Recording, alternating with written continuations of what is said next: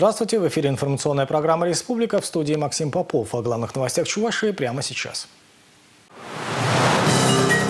Снова вместе стартовал Петербургский международный экономический форум.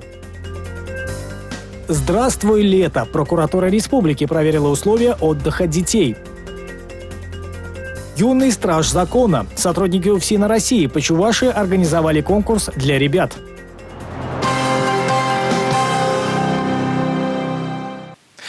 Сегодня в Санкт-Петербурге начал работу Международный экономический форум. Главное событие в России с начала пандемии. Здесь собрались представители деловых округов не только нашей страны, но и всего мира для обсуждения ключевых вопросов. Как будет развиваться экономика в постпандемийное время, что станет точками роста, какие ресурсы и резервы предстоит задействовать. Из Санкт-Петербурга Татьяна Молокова и Андрей Шоклев. На форум Санкт-Петербург приехали порядка пяти тысяч человек. Мероприятие проходит с соблюдением всех мер безопасности. Главная тема форума также посвящена пандемии. Снова вместе. Экономика новой реальности. В деловой программе форума свыше ста дискуссий, которые посвящены вопросам глобальной экономики. Отдельно есть социальная и технологическая повестки. Делегация Чуваши планирует заключить на форуме более 10 соглашений и обсудить реализацию ряда инвестиционных проектов. Приветствуем вас на церемонии подписания меморандума. Первым подписанным документом на полях форума стал меморандум о социально-экономическом партнерстве с ПАО Т+. Стороны намерены внедрять современные технологии в области производства, транспортировки и учета энергии, а также развивать систему централизованного теплоснабжения. Компания планирует инвестировать в тепловое хозяйство Чебоксар и Новочебоксарска порядка 17 миллиардов рублей.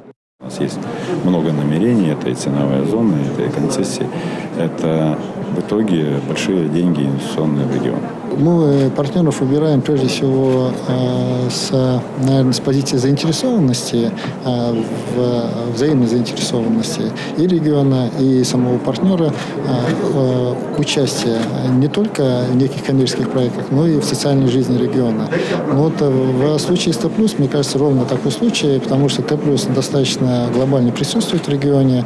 Это два объекта генерации. Если говорить о Чебоксарской агломерации, это основной поставщик тепла.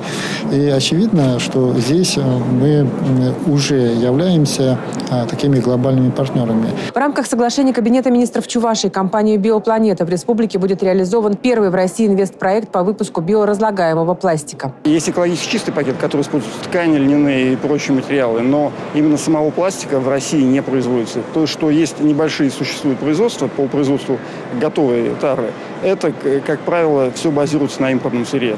Но с точки зрения бизнеса э, в принципе, биоразлагаемый пластик по себестоимости он дороже э, нефтехимического. А с учетом того, что материал импортный, э, продукт становится еще больше, более дорогим. Ну и мы должны понимать с вами, что э, использование дорогого исходного сырья – это в конечном итоге нагрузка на потребителя. Поэтому появление такого производства в России это будет способствовать не только экологической, э, улучшению экологической обстановки, но и тому, что э, какая-то продукция станет дешевле. Производство планируют разместить в особой экономической зоне Новочебоксарска. У этого уникального направления большое будущее. Начинаем работу по реализации Э, биопластика. И это станет как раз основой для того, чтобы запустить процесс замены продукции из полиэтилена и пластика. И таким образом, если а я уверен, что успех будет, если мы будем совместно работать, то это даст великолепные возможности для развития многих новых направлений и целых отраслей, и в том числе для, э, э, э, для реализации предпринимательских идей на территории Чувашской Республики. Еще одна тема переговоров на форуме – поддержка молодых и инициативных людей. Развитию социальных лифтов, создающих возможности для личностной и профессиональной самореализации молодых в различных сферах деятельности, будет способствовать соглашение с некоммерческой организацией «Россия – страна возможностей». Мы данным соглашением э, хотим зафиксировать основные направления взаимодействия, в том числе дорожную карту, по тем проектам, э, где э, Россия страна возможностей значит, участвует. Всего 26 проектов. В 26 проектов, которые представляет оно России страна возможностей, но мы предполагаем, что можем вовлечь максимальное количество заинтересованных участников, жителей нашей республики, с тем, чтобы у них появились эти возможности для собственного развития. На платформе «Россия. Страна возможностей» проходит множество различных мероприятий. В них активно участвует молодежь Чувашии. Соглашение расширяет возможности сотрудничества. Нам важно, чтобы а, речь шла действительно о всей стране. не только о крупных мегаполисах. И с Чувашией у нас есть уже прекрасные взаимоотношения. У нас более 67 тысяч участников наших проектов как раз из Чувашской республики. Почти 300 с них стали победителями наших проектов. Чувашия имеет открытый доступ ко многим цифровым платформам, так что у жителей республики большие возможности. Конкретные шаги по продвижению проектов платформы «Оно. Россия. Страна возможностей» будут прописаны в дорожной карте. Завтра форум продолжит свою работу. Татьяна Молокова, Андрей Шоклев, Республика из Санкт-Петербурга. Умение управлять финансами – навык по нынешним временам, необходимый особенно если речь идет о вложении средств. Причем финансовую грамотность сегодня стоит рассматривать в совокупности с инвестиционной, цифровой и киберграмотностью. Задача специалистов – предупредить о существующих мошеннических схемах, сформировать культуру отношения к деньгам. Выход на фондовый рынок сразу с большими суммами – это очень опасная вещь. Поэтому правильно, что люди выходят с небольшими суммами. И цифровизация финансового рынка это позволяет. Мы, конечно, за то, чтобы у людей была подушка безопасности, и они размещали свои деньги, которые составляют эту подушку безопасности, безопасный инструмент, прежде всего вклады в кредитных организациях. Но приобретать дополнительные здания, или если накопил больше, чем подушка безопасности, имеет смысл точно на фондовом рынке. Инвестиции – это труд, это время, это знание, это опыт, и без труда не выловишь рыбку из пруда. Глава Чуваша отметил, что в республике работа по повышению финансовой грамотности людей ведется давно, но масштабы были не те. Многое изменилось созданием Центра развития финансовой грамотности как института, который изучает лучшие практики и внедряет положительный опыт. Серьезным подспорьем стало и подписание четырехстороннего соглашения. В прошлом году было подписано четырехстороннее соглашение. Это Министерство финансов, Центральный банк Российской Федерации, Чувашской Республики и Ассоциация банков России по поводу реализации программы повышения финансовой грамотности на территории Чувашской Республики. И здесь вот как раз совместные эти действия дают возможность максимально системно охватить э, информирование и повышение грамотности в области финансов различных слоев и категорий населения. Вчера в республике были подведены итоги одного из престижных конкурсов финансовой журналистики «Рублевая зона». Было рассмотрено более 400 работ со всей страны. Журналистское расследование – это особое такое вот э, эксклюзивное блюдо в репертуаре СМИ, и это может делать не каждый. Конкурс проходит под эгидой Комитета по финансовому рынку Государственной Думы России. Жюри определило призеров в основных номинациях творческого состязания. Журналисты Чуваши вошли в топ-3. Это корреспондент газеты «Советская Чуваша» Людмила Арзамасова и экономический обозреватель Андрей Иванов. Актуальную для финансового рынка работу подготовила журналист интернет-издания Инна Серова. Ее отметили в номинации «Лучшее журналистское расследование». Читатели для которых, в общем-то, это все и делалось, э, ну, отнеслись не просто с интересом, но и с пониманием, и что-то от этого получили. Потому что все-таки основную свою задачу я вижу в том, чтобы э, помочь людям разобраться в той или иной ситуации. Ну и мне вдвойне приятно получать эту награду в городе Чебоксары, которую я знаю давно, которую я очень люблю. Наталья Мальчикова, Николай Скворцов, Владимир Синдеев, Республика. Стали известны итоги предварительного голосования партии «Единая Россия». Напомним, оно проходило по всей стране в электронном формате. В Чувашии в нем приняли участие более 180 тысяч жителей. Были зарегистрированы 220 кандидатов в 22 округах по выборам депутатов Госсовета Чувашии и в двух избирательных округах по выборам в Госдуму России и в список партии. По партийному списку в Государственной Думе России больше всех голосов набрала секретарь Чувашского регионального отделения партии «Единая Россия» Алена Аршинова – более 128 тысяч. И это один из самых высоких результатов в стране. Подтвердили уровень доверия избирателей действующие депутаты Госдумы Николай Малов – почти 60 тысяч и Леонид Черкесов – более 37,5 тысяч голосов. Отличный результат показал министр сельского хозяйства Сергей Артамонов, который впервые принимал участие в предварительном голосовании. Он набрал 52 тысячи с лишним количеством голосов. По одномандатным округам Государственной Думы России первые места заняли министр образования молодежной политики Республики Алла Салаева, более 31 тысячи голосов, и известный в Республике меценат и общественный деятель Леонид Пронин, около 22 тысяч. Партия поддерживает и дает путевку на выборы тем, чьи идеи и предложения а, соответствуют запросам наших избирателей. Электронное предварительное голосование – это хороший способ а, заявить о себе как о политике. Народное голосование определяет не только победителей, но и ближайший резерв партии. Что касается итогов предварительного голосования по округам Госсовета, то здесь ситуация такова. Заместителю главы города Чебоксар Николаю Владимирову отдали голоса около трех с половиной тысяч человек. Мы можем ответственно заявить, что у нас есть контакт с избирателями, избиратель нас видит и голосует за нас. Борьба была конкурентной и честной. Хотелось бы поблагодарить наших избирателей за то, что нас поддержали в предварительном голосовании. Продолжаем дальше работать вместе. Ректор Чувашского государственного университета Андрей Александров набрал более двух тысяч голосов. Для любой партии вот, систематическое обновление – тут ключевая задача. Очень большой интерес проявляет к участию в этом предварительном голосовании не только члены партии «Единая Россия», но и беспартийные по отраслевому принципу. А в основном это те, кто трудится в системе образования. Это аграрии, а, работники сферы индустрии, медики. Вот они составили костяк из 220 претендентов, которые участвовали в голосовании. Вот 46 э, всего лишь старше 55 лет. Главному врачу Федерального центра травматологии Николаю Николаеву отдано 2515 голосов. Каждый пятый житель Чувашской республики принял в нем участие. Конечно, предварительное голосование – это еще не сами выборы. А, они покажут, наверное, только тех лидеров, а, которые в последующем пойдут на выборы. Но нам очень важно мнение наших жителей. Сейчас мы будем активно работать над программой предвыборной. Вот она в ближайшее время будет сформирована. Чувашии началась летняя оздоровительная кампания. В 320 лагерях открылись первые смены, разумеется, с соблюдением всех санитарно-эпидемиологических требований. Условия отдыха детей проинспектировал прокурор Чувашии.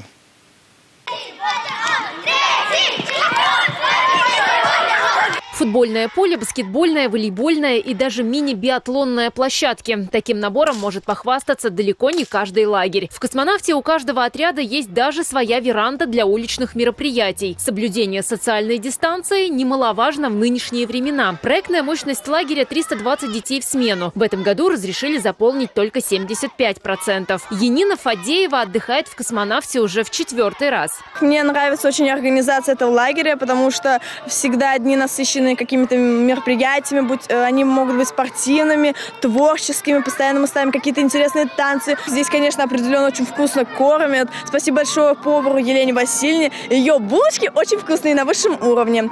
В 2020 году лагерь отремонтировали. Здесь заменили кровлю корпусов, поменяли полы, двери. Стало уютнее, теплее и чище. Из республиканского бюджета на это выделили 7 миллионов рублей. В каждом отряде и в общих местах сбора установлены санитайзеры. Дети уже привыкли к особым правилам, и даже ежедневное измерение температуры не мешает им радоваться каникулам и знакомству с новыми друзьями. У нас тут проводятся дискотеки, мне нравятся дискотеки. Мне нравятся мои вожатые Антон и Катя. Я очень их люблю. Они отдают всю свою душу нам. Я познакомился с одной девочкой на дискотеке. Станцевал медляк. На территории круглосуточно ведется видеонаблюдение. В штате два охранника. Еще одно новшество этого года – отмена родительского дня. Лишние контакты ни к чему. Необходимые вещи папа и мамы могут привезти и оставить на пропускном пункте. Прокурор Чувашии Андрей Фомин существенных нарушений в лагере не обнаружил. А где пьют дети? Вот ребенок бегает, бегает, бегает. Это кулеры в корпусах. Вот смотрите, вы сейчас обратили внимание, в корпус зашли, стоит у вас кулер. Да. А стаканов нигде нет. Нет, а мы стаканы, все космонавтские стаканы при заезде, я покажу. Сейчас. То есть у каждого, у каждого индивидуальный Роспроднадзором это согласовано. Из недочетов травмоопасное покрытие детской площадки, запасные ворота были открыты. Дети могли спокойно выйти за территорию лагеря. У некоторых сотрудников оформлены не все документы. Администрация их должна устранить в ближайшее время. Прошли по территории, посмотрели бытовые условия, в столовую зашли. Ну, я считаю, что коллектив лагеря, директор лагеря, ну, они максимум сделали исходя из, из своих финансовых возможностей, в принципе, лагерь в хорошем состоянии. Самое главное, детям здесь нравится, дети с удовольствием, с настроением. И все занимаются, все занимаются спортом на свежем воздухе. Ну да, конечно, хорошо то, что сейчас детям и надо. Год был непростой, в условиях изоляции, дистанционки. Дети соскучились и по общению. Дети приехали за здоровьем, за впечатлениями, за, поэтому, я думаю, здесь э, все они получат в этом лагере. Детские оздоровительные лагеря в этом году на все лето останутся под пристальным вниманием правоохранительных органов и Роспотребнадзора. Татьяна Трофимова, Юрий Марков, Республика. Детский лагерь «Звездочка» меняет свой статус. Его перепрофилируют в учебно-методический центр военно-патриотического воспитания молодежи под названием «Авангард». Клянемся быть спортивными! Клянемся быть здоровыми! Клянемся быть веселыми! Лето, долгожданные школьные каникулы, беззаботная пора. Кто-то отправился в деревню к дедушке и бабушке, кто-то в детский оздоровительный лагерь. Благо, в этом году они работают. Звездочки вот уже на протяжении многих лет с удовольствием отдыхают ребята из Новочебоксарска и других районов и городов республики. Самые яркие воспоминания, как правило, остаются после такого дружного совместного отдыха. Ведь, как пел известный Барт, Лето – это маленькая жизнь. А, я в лагере первый раз. А, сегодня мы играли в различные интересные игры. Я познакомилась а, с новыми друзьями. Мне здесь очень нравится. Но если дети радуются каждому прожитому в лагере дню, то взрослые решают серьезные проблемы. Большинство таких загородных учреждений нуждаются в реконструкции. В наши пионерские лагеря на протяжении многих десятков лет не приходило внимания, не приходило финансирование. И наши дети, конечно, должны проводить свой летний отдых в очень хороших и интересных, качественных условиях. Наша задача – подготовить единый подход модернизации, который будет включать в себя безопасность, увеличение мест. Ну и, конечно, сами корпуса должны быть современными, удобными, комфортными. Перепрофилирование идет в рамки единой комплексной программы модернизации лагерей Чувашии. После капитального ремонта учреждение сможет принимать детей в течение всего года, не ограничиваясь летними каникулами. То есть лагерь получит дополнительное развитие, э, он начнет работать на 100% своей мощности, то есть мы сможем принимать детей не только в каникулярное время, а еще в середине года, то есть осенью, зимой, то есть э, мы охватим большее количество детей, у нас появятся новые специалисты, в лагере появятся новые возможности, новое оборудование. То есть нашим детям будет гораздо интереснее быть уже в совершенно новом лагере, в котором э, должен появиться и бассейн, и стрелковый тир, и преобразиться все спальные корпуса. В перспективе у каждого детского лагеря появится свой профиль. Екатерина Шеверова, Вадим Владимиров, Республика. С каждым годом в республике становится все меньше сирот. По состоянию на 1 мая в Чувашии почти 1800 семей взяли на воспитание детей. Чтобы таким семьям было легче находить единомышленников и обмениваться опытом, проводятся различные фестивали, акции и конкурсы. С победителями регионального этапа конкурса «Успешная семья Приволжья» встретился глава республики Олег Николаев. В Чебоксарском социально-реабилитационном центре для несовершеннолетних с утра каникулярное настроение. Веселые игры, песни и танцы.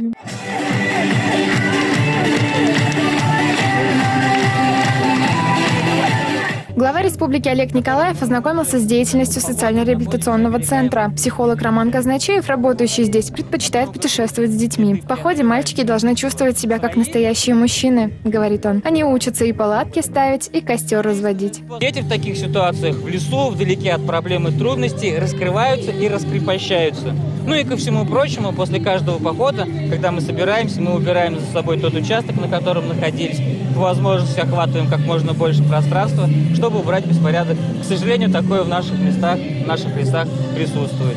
В этой комнате молодые журналисты оттачивают свое мастерство. Юные акулы пера спросили у руководителя республики, какую тему он осветил в числе первых, если бы был блогером. Вот знаете, если бы я вернулся э, в свои годы, когда мне было там лет 10, я бы, конечно, сразу сказал бы космонавтику потому что в то время вот была космонавтика вообще популярная тема. Но сейчас уже, когда э, вот много где поработал, Э, и соответствующим образом попробовал себя в разных сферах, э, наверное, все-таки интересно, знаете, вот как раз тема ну, вот, семейных отношений и вопросы личностного развития. Рядом маленькие кулинары угостили главу республики печеньем, которые испекли сами. Здесь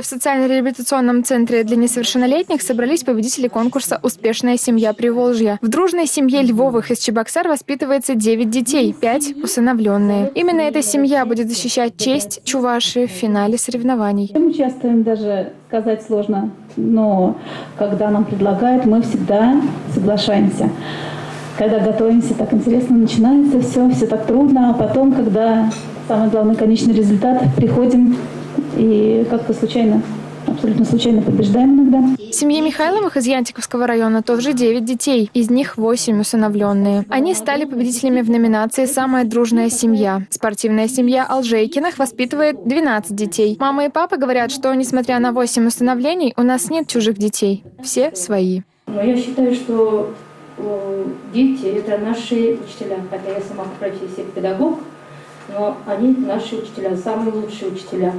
От них мы учимся ну, психологической гибкости, потому что дети разные бывают. Учимся любить, творить, радоваться жизни, ну и быть счастливыми, наверное, да? Потому что дети приносят счастье, я так думаю. Глава Чуваши поблагодарил всех тех, кто заботится о детях, оставшихся без попечения родителей, и подчеркнул, что республика и дальше продолжит помогать многодетным семьям. Всегда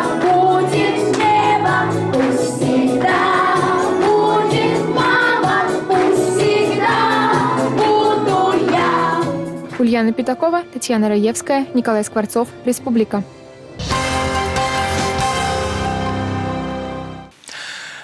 Житель Чебоксара украл электрический самокат. Теперь 48-летнему мужчине грозит до 5 лет лишения свободы.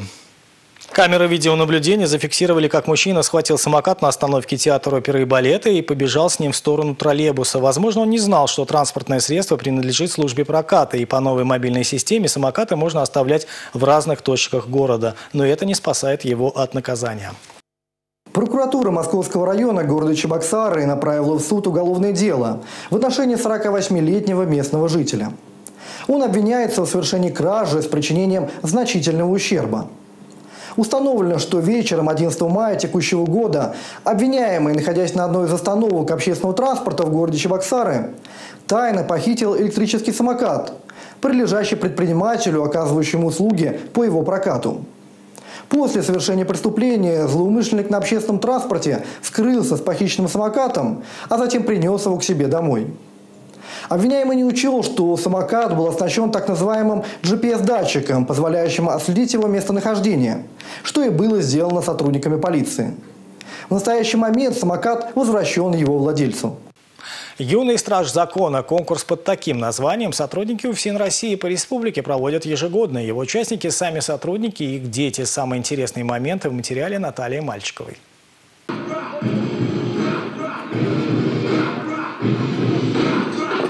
Старт соревнованиям дал отряд специального назначения. Работали с полной выкладкой, как в реальном рукопашном бою. У спецназа иначе не бывает.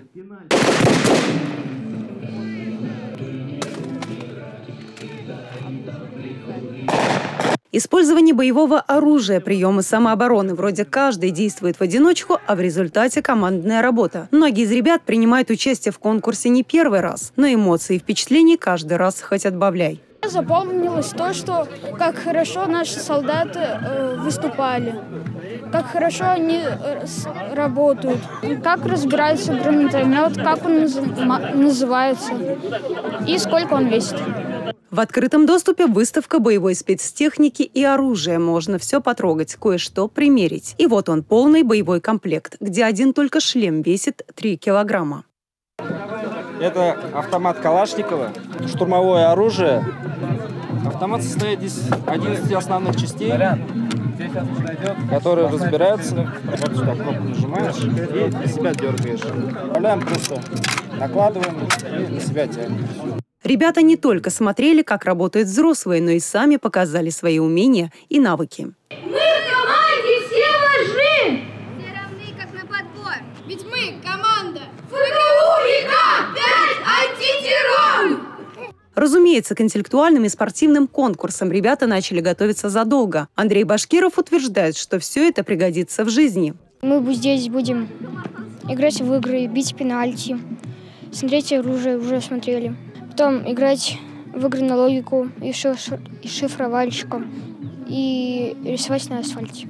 Один из тех, на кого ребята хотят равняться, это Анатолий Тапиров. В отделе он работает 22 года. И воспитание достойной смены для него – одна из важнейших задач.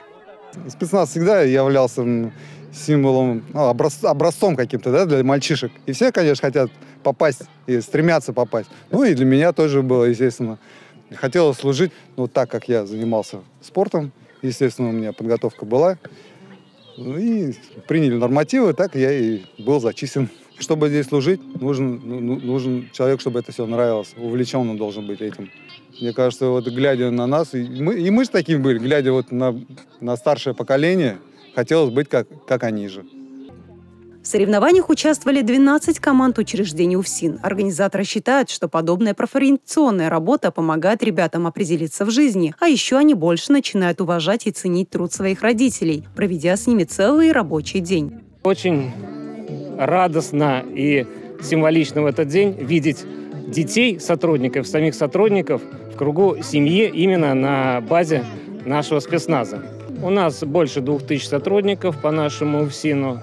Э, Работа, да, очень сложная, напряженная, связанная иногда с риском для жизни. Дети, э, участвуя в этих конкурсах вместе с родителями своими, что отрадно видеть здесь, приучаются, наверное, к патриотизму и больше ценить именно своих родителей, чем они занимаются.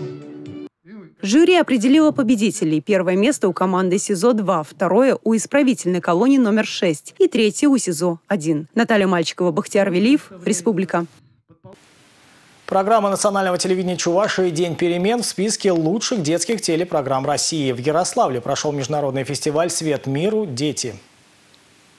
День перемен – это реалити-шоу, в котором дети меняются местами с родителями. Идею программы придумали наши юные коллеги, потому что очень хотели почувствовать себя взрослыми и оказаться на их месте. Жанр реалити-шоу очень популярный, рейтинговый, но и сложный в реализации. Члены жюри конкурса «Свет миру. Дети» дали несколько советов, как сделать программу еще интереснее, например, использовать при съемке больше маленьких камер для новых ракурсов. Итог фестиваля – серебряный диплом и море вдохновения для новых выпусков. Кстати, принять участие в съемках можете и вы, если, конечно, ваша семья дружная и смелая. Это главные новости Чувашии в среду 2 июня. До свидания.